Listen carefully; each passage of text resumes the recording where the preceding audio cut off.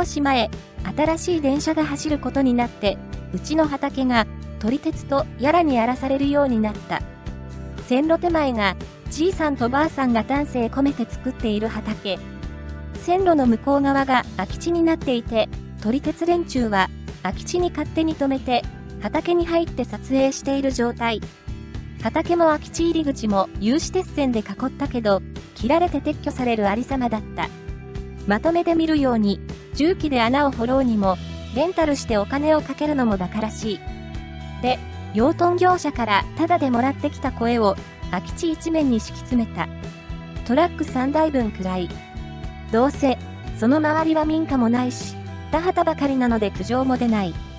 空き地入り口は、数日かけて、自分でくわ持って、2メートル幅を50センチくらいの深さで耕しておいた。そして奴らが来る、週末。朝から耕したところに、たっぷりの水をまいて腐葉土で覆っておいた。そのまま出かけて夜に見たら、車が1台お辞儀してた。誰にも言わず、一人天柱を下し、必殺仕置き人になった気分で、越に行ってるなんて恥ずかしくて、誰にも言えない。じいちゃん、ばあちゃんは、声をまいた空き地も使って一生懸命畑仕事に勤しんでいるからいいことをしたと思ってる。レッカーも入ってこれない場所なので、撮り鉄の車はどうしたか知らないけど、いつの間にかなくなっていた。不法侵入だから警察も呼べずに困っただろうながら、